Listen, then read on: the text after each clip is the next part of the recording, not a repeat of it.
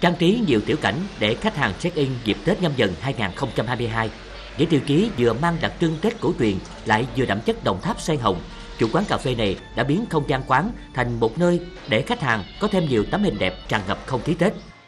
Em thích ờ, đến mấy quán cà phê đặc biệt là có mấy quán trang trí mấy cái góc ờ, như ờ, dịp Tết để cho mình check in chụp hình màu sắc phong cảnh ngày Tết thì màu đỏ nè rồi cây mai. Quán thì cũng cố gắng đang là trang trí cho nó Tết cho nên là cũng là màu đỏ. Năm nay cho nó rực rỡ lên sẽ có một cái góc nhỏ để cho các bạn là, là sống ảo check in. Rồi là ở đây thì có những là năm nay là năm dần cho nên là cũng đã trang trí thêm cái hình ảnh và bên là bé sen là, là tượng trưng cho đồng tháp. Cũng có một góc nhỏ nhỏ để thu nhỏ lại để cho khách cũng có thể là tham quan chụp tiểu cảnh và cũng như là thưởng thức những cái loài hoa. Làng hoa sa đéc cao lãnh mình là đặc sản là xoài. Quán sách ấp thêm là trà xoài để đánh dấu cho một năm mới sắp đến thì việc lưu lại những tấm hình đẹp mang phong vị đặc trưng của từng năm sẽ làm cho mỗi người ghi nhớ khoảnh khắc chuyển mùa và chuyển mình của bản thân.